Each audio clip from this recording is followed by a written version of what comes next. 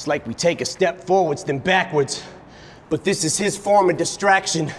Plus, he gets an enormous reaction when he attacks the NFL, so we focus on that and instead of talking Puerto Rico with gun reform for Nevada, all these horrible tragedies, and he's bored and would rather cause a Twitter storm with the Packers. Did y'all know he was going? Did y'all know he was going to do this?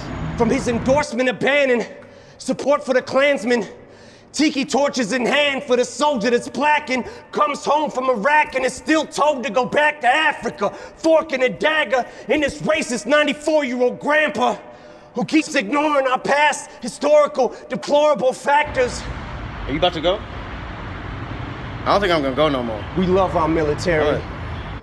and we love our country, but we hate Trump! My verse is about titties.